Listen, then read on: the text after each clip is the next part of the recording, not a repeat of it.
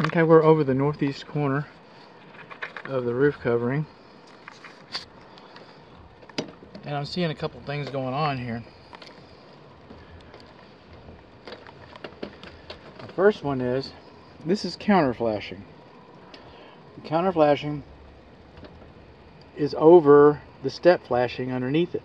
Step flashing goes behind the wall, goes underneath the shingles. So any water gets through the wall, the bricks pores, comes out, goes down. We're trying to go down. Now this counter flashing, if you'll look, this piece is installed over that piece. If you look at the shingles, they cascade down. That shingle is installed over that shingle is installed over that shingle that's installed over that shingle. So that water will cascade down off of the shingles.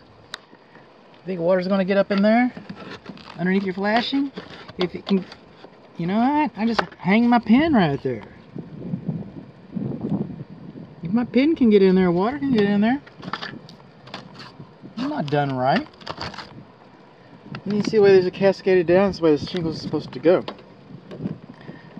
So we move down here a little further.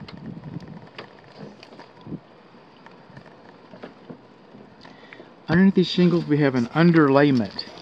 And this underlayment, like the shingles, cascades down. And it cascades down on top of the drip edge, like it's supposed to. So any water that comes in here, comes down here and goes over the drip edge. Oops! And then what? If my pen can get in there, water can get in there. The back of this drip edge is supposed to cascade down over this.